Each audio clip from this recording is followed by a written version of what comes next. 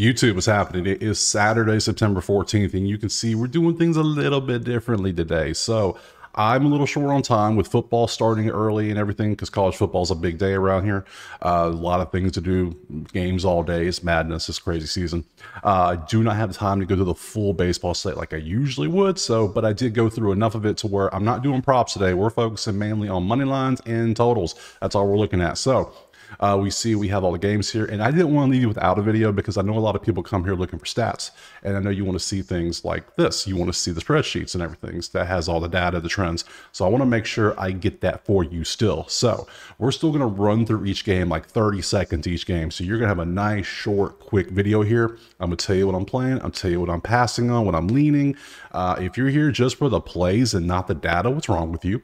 No, go do your own research and then watch some other videos and try to figure out the best play. Don't, just don't blindly tail people. That's how you lose overall in the long run. Come on now. You should be better than that. No better. So be a better, better. So, so if you, yeah, come here for the stats, make sure you know pair it up do some research just because my angles are different than other angles and my angles are right sometimes they're wrong sometimes others are right sometimes they're wrong this is gambling it's all really educated guessing in the long run if you think about it so the best better is hitting 56% if they're saying they're hitting 70 80 they're a damn liar because they ain't so anyways enough of the rant. Let's move on. KC Pitt is your first game, and we're gonna one take Jake this bad boy today. So there's no need for breaks and everything because we're going to roll through. You can see on the batting stats who's done what. You can see that Casey's trended up a little bit. Pittsburgh trended down a little bit. The runs are about the same little bit for there. The averages are there. Uh, looking at the pitchers, you can see that uh, for Casey and Pitt, it was uh, it's going to be Wacha and Keller. I mm, I lean over in this one. I don't know if I'm yeah I'll, I'll lean this one. I don't fully take this. I'm gonna start putting leans and everything because one of people, some people want to know, do I lean it or do I fully love it? If I love it, I'm playing it. If I lean it, I might play it in like a parlay or something. But if I pass it, you'll know I pass. So for this one, uh, go back to it. For the KC pit game, I'm definitely leaning over of eight, and I lean KC on the money line, but I'm not gonna play anything by itself. I'll throw it in some parlays later for fun, but that's it for this one. Let's roll on to the next one. Let's go to game two is going to be Boston and New York. And what a what a wild game yesterday. Judge hit the home the grand slam. Ooh, craziness. Uh, but you see the stats are pretty much damn same. Look at the numbers. Everything is pretty much the same. The trend lines are the same. Nothing standing out. Uh, for the pitchers, we pop over here. We can see we got Bello and Cole going against each other. We can see that right there. Uh, I take Cole in this one. Let's be honest. I, I, Bello, eh, you're okay, but you're not Gerrit Cole. And then you come back over to the numbers. Everything's the same. I I would take New York in the mainline. There's two weeks left to the playoffs. Let's have some fun. Let's not worry about bands and not. Yeah, let's have fun. I'm I'm taking New York in the mainline parlay. I don't care. I'm doing it. So there you go. That's it for that one. Let's move on to game three. You can see now we got St. Louis and Toronto.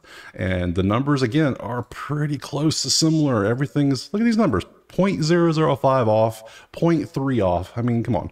Uh, this one I have as a pass. I will show the pictures as well. You can see it's Gibson and Barrios right there. Those are your pictures. Uh, but I passed on it because everything, even the pictures are pretty close. Nothing truly stood out to me. So uh, going back to here, I didn't like anything, like nothing at all. So uh, so let's go on to game four. Game four, you get the Mets and Philly. Mets with the explosion of runs yesterday to get 11 runs. Philly only had three, so that made the Mets go whoo, and the Philly go whoo, and then you see the but the batting averages are close to the same. It just didn't make much sense. Um, they're both not striking out much. Looking over at the pitchers, you can see that uh, Severino and Allard Kolby is doing pretty good in his three starts. Uh, Severino is Severino, who's just always pretty good as it is. So uh, nothing, again, nothing stood out. They're both pretty equal in my mind. I lean Severino just a little bit because we have more of a data with him. Uh, Kolby's only pitched three games this year, so it doesn't really tell us much. So, but looking more at this, I mean, I know there's a trend out there that a team that loses by more than seven runs, you want to take them the next game. So I lean New York based on the stats, but that trend does scare me. So I'm going to pass on this one and just move on to the next one. So which would be game five, which is Miami and Washington. And you can see the stats here, how they go. Miami's offense just hasn't done anything recently. They had one run yesterday. Uh, Washington had four, which I believe Washington's officially eliminated now. I believe that's a thing. Welcome to the elimination pool, Washington. Yes, vacation starts soon, buddies. Don't worry. Uh, let's look at the pitching. For this one, we got Bellozo and Patrick Corbin going out there. Uh, Corbin's been good. I just, I've been, I've been ragging on Corbin hard this year and just have not gotten the what I expect. I mean, there's been a couple games he got blew up, but I mean, I just haven't. Nothing's been bad. So, I, I lean Washington in this one. I lean it um, on the money line. I don't. I, I don't. I don't lean uh, Bellozo, so I just can't. I, yeah, so even so, Corbin's been he's been terrible. He's been good, and he's been only terrible twice that I know of. So yeah, if I had to back someone, gun to head, I'm taking Washington. So I'm gonna put them in the mainline parlay. You know what? I'm going to. I'm. We're putting Patrick Corbin and the Washington Nationals into the mainline parlay, and I don't feel bad about it. So that's right, I did that. So there you go. Uh, move on to the next game. Tampa Bay and Cleveland, you can see the offenses are just the same. I mean, every every game is the same right now. It's just everybody's pretty close on everything. So makes it harder to figure out what to do around here, but it's one of those days. Um, Tampa, Cleveland, you got Rasmussen and Cantillo. I don't. Mm, this is kind of an ugly game. Let's just be honest with those two pitchers, and then you got this information here. I I can't lean Cleveland. Look how bad the offense has been recently. Tampa's been better, but this is just ugly. So I passed on this one completely and just I moved on. So as anybody would because it just isn't good. Um, Baltimore, Detroit doesn't even have a damn pitcher listed. So uh, you see Detroit's doing damn Detroit things again. Undecided, nothing listed, but Corbin Burnes is pitching. But Corbin Burnes has been absolutely awful since. Um, let me pull it up real quick. Corbin Burnes. I yeah, I can show a little bit. So game log. Here we go. You can see. Look at these numbers. This isn't all star starter numbers. This is just awful. So I mean, these two games aren't as bad, but I'm just be honest. He's yeah. Um, and then you got to come back over here and look at Baltimore's actual stats, and you're like, Ugh. you batted .036 yes in your last game, which was yesterday, and you 30th. Yeah. Who? Yeah. If anything, um, I would say a NRFI, but we don't know who Detroit's throwing out there as a pitcher, so I can't take that. Uh, over under is currently sitting at eight. I like that. We'll take the under of eight because I just don't like the offenses. So um, under of eight, we will we will play that. So no problem there. All right, move on. All right, moving on to Oakland and Chicago. The White Sox have just checked out. Let's be honest. They're on a four game losing streak. There's two weeks till their vacation starts, and they're going to have a great time there. So, uh, I mean, 1.3 runs, buck 90. The veterans are done. They gave up. Uh, Oakland, I lean a little bit. And if we look over at the pitching, we can see that you got JT and Chris Flexen going out there. But, I mean, you come back over to the stats on the bats, and it's just not pretty. Oh, go back. It just isn't pretty. So, I mean, just, yeah, I lean Oakland, but I'm not going to officially play Oakland in the money line parlay. But, uh, I mean, Flex has got to win a game eventually, right? you would think. You would think. But 115 losses tells you differently. So, um, what is the spread? What, are we thinking? 160? You know what? The hell with it. We're putting Oakland in the money line. This is a fade the White Sox. They're they're on Cabo mode. They're already on vacation in their mind. They got two weeks and they'll be sipping on champagne, enjoying the good life of being a, a high paid athlete. So moving on, moving on. Uh, let's move to Cincinnati and Minnesota. We see in this one, Minnesota found the offense for one game and then went right back to 161 and a four runs there. Uh, Cincy got eight, buck 88. You can see how they did. Ooh, and then Minnesota went down. So, you, I mean, eight to four yesterday. Pitching today in this one looks like we have Nick Martinez and Simeon Woods Richardson. We can see them there. Cool, cool, cool. Nothing truly stands out. Um, I lean Minnesota in this one, obviously, uh, because of the pitching. Uh, how has Nick Martinez been doing? Actually, let's take a little look see. Game log it up. Okay, hold up. Hold up, I might. Uh, Nick Martinez? Uh, yeah. Your last game against the Braves was great. Okay. Okay. I might have to roll with Cincy though. What is this? What's the spread right now? Total, total, total, total. Minnesota by 150. Ooh, um, okay. With the offenses the way they are, what's the total? Eight and a half. Okay. I think for this one, I actually lean the under. Even though the offense spike for Cincy, I think I still lean the under. We got two pretty good pitchers going out there. All right, so I lean under. I don't fully love it. Eight and a half. Um, but yeah, they'll go on a parlay because I still I have parlays every day. So, but it's not going to be like a straight bet thing. So leans are out there. Uh, let's pop on over to Dodgers Braves and we can see what's going on here. Uh, the Braves won six to two yesterday. We can see everything that happened. Uh, yeah, it just yeah, Atlanta teed off for a little bit. So look at the pictures today for them. Looks like we have Flaherty and Sale. Damn, that's a matchup. Okay.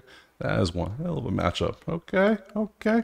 Um, ah, I mean, Sale. I like Sale or Flaherty. Atlanta's offense is doing better than the Dodgers. I, what's the spread? I mean, what's my on? One twenty for Atlanta. Ooh, um, yeah, I'll take Atlanta. We're gonna do it. We're gonna take Atlanta. I think Chris Sale is just amazing. Flaherty's not bad, but he's not Chris Sale, let's be honest. So I'll, I'll take Atlanta money line. I will not put them in the money line though. Money line's reserved, so they're going to be their own thing just by themselves because there's only 120, so that's not that's not a big deal. So, um, what the hell? Let's throw them in the money line. We're having fun. Who cares? Let's do it. Why not? It's just a parlay. Let's sort of fun stuff. Let's pop on over Milwaukee, Arizona. You can see Look at that little roller coaster right there. Look at that. Look at that.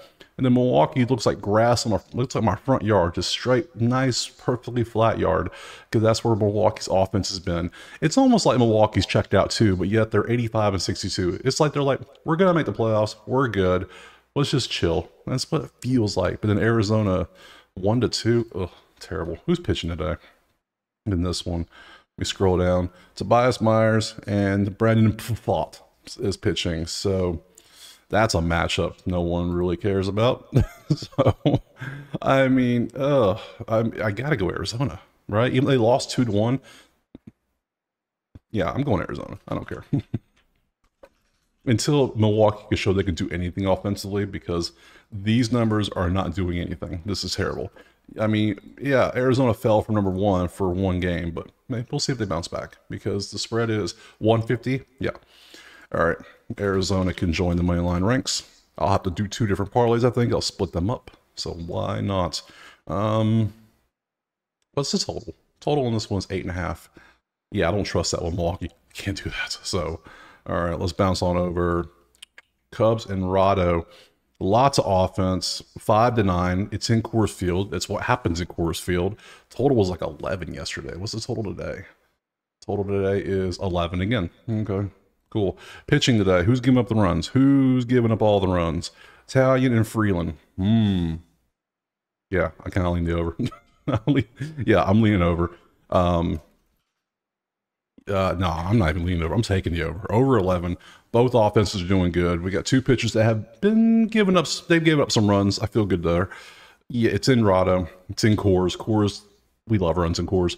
Both teams are hitting the ball great. Look at these averages yesterday 351 353 like come on you don't just cool off like both teams won't cool off somebody's going to keep up the runs nine to five yeah i could see us hitting 11 so let's do that keep it moving uh, san diego and the giants it's all san diego does it feel like these two teams have played like nine straight games in a row it feels like it i almost think they have it's just yeah so um, i've been doing it i'm going to keep doing it san diego money line they're to they they've lost a couple times the Giants, but they've won a few too. So, and who's pitching? That might help if I look at that.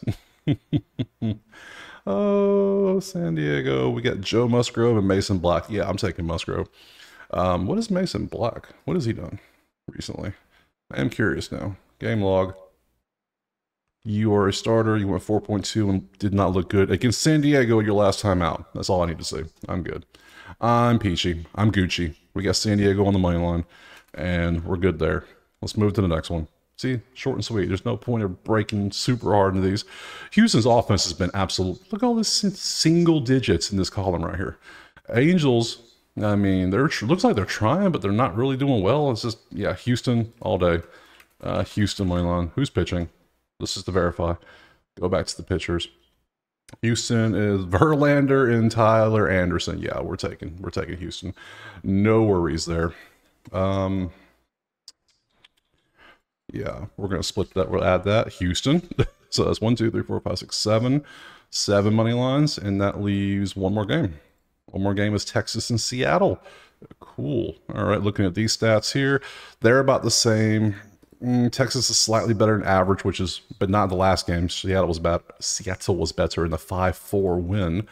Um, don't really like this one. Let's look at the pitchers. Who we got? Oh, it's Scherzer. Wait, yeah. Oh, Scherzer's going today. mm. And Logan Gilbert. Logan Gilbert. Mm, I, I, don't. I don't trust the Seattle pitching staff anymore. Outside of Woo, I just don't. Even really, then I don't trust Woo either. So, I think I kind of want to go with Scherzer. I think I like. What's the Texas money line? Oh, it's plus one forty. Ooh. Hmm. Okay, maybe I'll leave alone. Okay. Hmm. All right. We'll leave that alone. That's I don't want to take plus one forward. They know something. Some, something's afoot that I'm missing. So, and uh, if it's weird, something the odds are that off like that, and I thought they'd be favored, they're plus one forward. I'm missing something that I have not had the time to look up. So we're gonna avoid that. So um, that breaks it all down. There's all the games. Moneyline parlay is well, there's four of them. So let me take out one and drop it to six. Let's take out Washington. That's the one I want to take out against Miami. Just them just being eliminated yesterday. I want to see what happens in the first game. So we're going to take Washington off. So we're going to lean Washington, but not put it in there. Uh, Moneyline Parlay, we're going to group them as such. One and two. Moneyline Parlay one and Moneyline Parlay two. We got Yankees, Oakland, Atlanta, Arizona, San Diego, Houston. And I want to keep them by times. That way I have a group and a group. So Yankees, Oakland, Atlanta all seem to play around the same. They'll play first, and then I'll move Arizona, San Diego, and Houston to their own group. So two three game parlays. And that's all the plays we're going to have for today. So uh, you heard all the plays. That's all there. I appreciate you watching and appreciate you subscribing. This video was much shorter. I got it under 20 minutes. Look at that. Look at it go. So very abbreviated. Let me know in the comments what I missed, what I overlooked. Uh, there might be some key injury I did not hear about or research this morning. Like I said, didn't get to do all the prop research, which tells me a lot about players. So that helps me a lot too. So uh, again, I appreciate you being here. Uh, other than that, we will see you tomorrow for more baseball and peace.